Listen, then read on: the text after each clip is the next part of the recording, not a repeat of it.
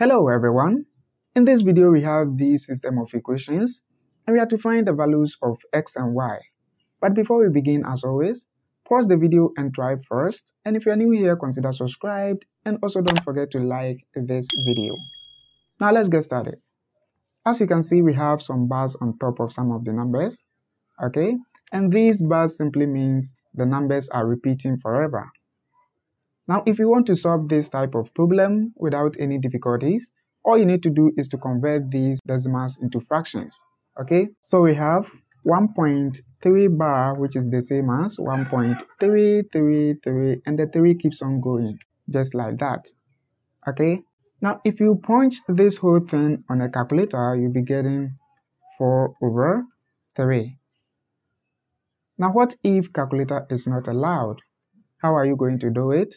Now, one way to do this without a calculator is to let a certain variable, in this case, I will say a equals 1.3 bar, which is the same as 1.333, and the 3 keeps on going forever. Alright, now if I multiply this equation by 10, we have 10a is equal to 13.333, and the 3 keeps on going.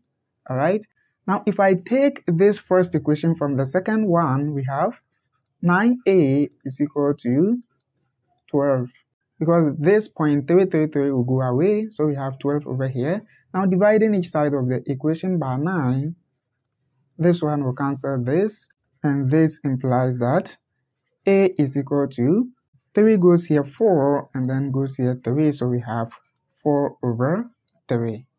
Okay, so we are done with this one. Now let's focus on this one, 0.81 bar. And this is also the same as 0.818181 and it keeps on going just like that. So if I let b equals 0.818181 and multiply it by 100, we have 100b is equal to 81.81 81 then it keeps on going. Now if I take the first equation from the second one we have 99b is equal to 81 now dividing each side by 99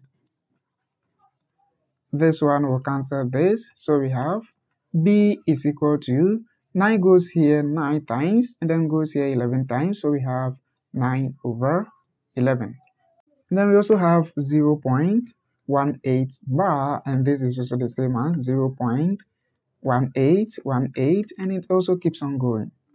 Now let's go ahead and then set this one to C. So we have C is equal to 0 0.1818 then it keeps on going just like that. Now multiplying both sides by 100 we have 100C is equal to 18.18 1, 8, then it keeps on going. Now taking this equation from this one, we have 99c is equal to 18. Let's go ahead and divide each side by 99. So that this one will cancel this. Now we have c is equal to 9 goes here 2 and then goes here 11. So we have 2 over 11. So the first equation becomes 4 over 3 times x minus 9 over 11 times y is equal to 2 on 11. Okay, so this is the first equation. Now let's focus on the second equation over here. And that one too, we have 0 0.6 bar x plus 0 0.27 bar y is equal to 0.24 bar okay? So let's go ahead and convert this one first. So we have 0.6 bar which is also the same as 0.666 then it keeps on going.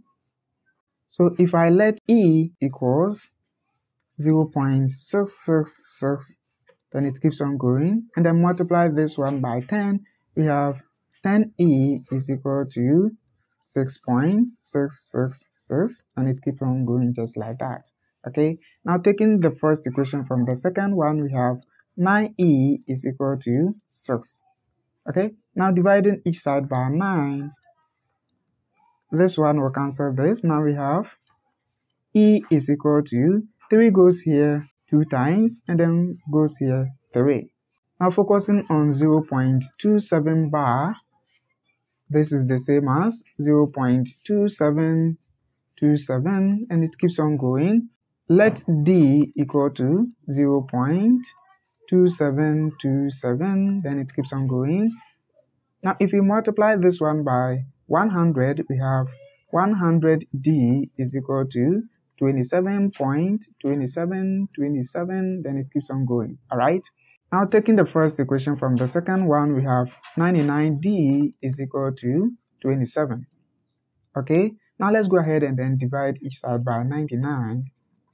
So that this we take this. Now we have d is equal to 9 goes here 3 and then goes here 11. So we have d to be this. Now the last one we have 0 0.24 bar and this is also the same as 0 0.24 2, 4, then it keeps on going. Okay, so if J is equal to 0 0.2424 like this, let's go ahead and multiply this one by 100. So we have 100G is equal to 24.2424, then it keeps on going. Right? Now subtracting this equation from this one, we have 99G is equal to 24. Okay, now let's go ahead and then divide each side by 99 so that this one will cancel this. So we have G is equal to 3 goes into 24 8 times and then goes into 99 33 times. So we have 8 over 33. Now we have the first equation to be 4 times x over 3 minus 9 over 11y is equal to 2 on 11 and this is our equation 1 then equation 2 we have 2 on 3 times x plus 3 on 11 times y is equal to 8 on 33 and this is our equation 2 now equation 1 times 33 we have 11 into 4x minus 3 into 9y is equal to 2 into 3. Okay, so we have 44x minus 27y is equal to 6. I'm to call this equation equation star. Then equation 2 times 33 as well. So we have 11 into 2x plus 3 into 3y is equal to 8. Okay, so simplifying this, we have 22x plus 9y is equal to 8. And I'm going to call this equation equation hash.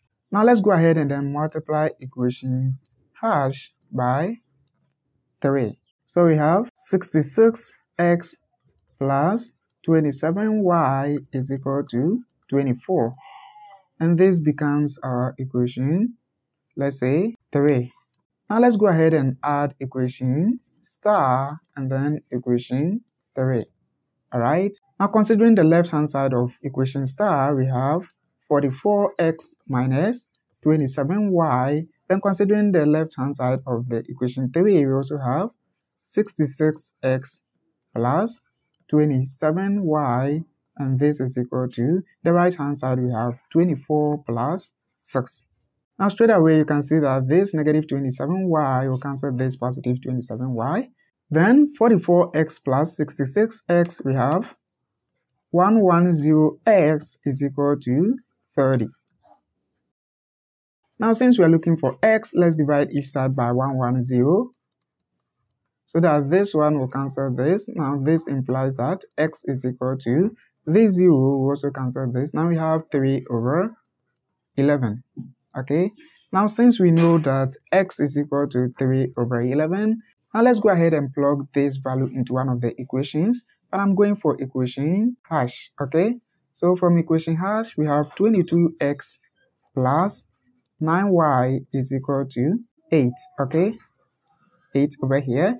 Now substituting x into this equation, we have 22 into 3 on 11 plus 9y is equal to 8.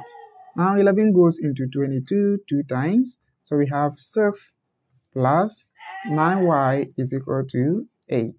Okay, now solving for y in this equation, we have 9y is equal to 8 minus 6. So we have 9y is equal to 2. Now let's go ahead and then divide each side by 9. So this implies that y is equal to 2 on 9. So in all, we have x is equal to 3 over 11. Then y is equal to 2 over 9. Now the question was in decimals, so we need to convert these fractions into decimals as well. Now converting this one first, we have 3 divided by 11. Okay, 11 cannot divide 3 straight away, so we bring 0, then point, then we add 0 to this one. Now 11 goes into 32 times, so 2 times 11 is 22. Now let's go ahead and then subtract this one. So we have 8 over here. Now 11 cannot divide 8, so we'll add 0 to it. 80 divided by 11, we have 7. 7 times 11 is 77. Then minus 80 minus 77 is 3, okay? Now 11 cannot divide 3 straight away, so we add 0 to it. So you see that we are back to 30, so it means that it keeps on going.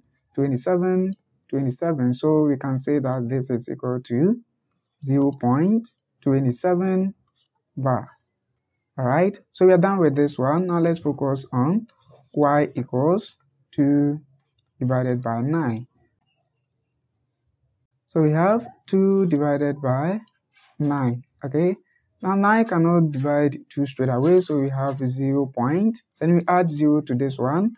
9 goes into 22 times. 2 times 9 is 18. So we take this one from this, and we have 2 over here. 9 cannot divide 2 straight away, so we add 0 to this one. 20 divided by 9, we have 2, then 18 over here. And taking this one from this, we have 2 again. So you see that it keeps on going, so it means this is 2, 2, 2, 2, which is equal to 0 0.2 bar. So in all, we have x to be 0 0.27 bar, then y is equal to 0 0.2 bar. Alright, now plugging x and y into the original equation, we have 1.3 bar times x where x is 0 0.27 bar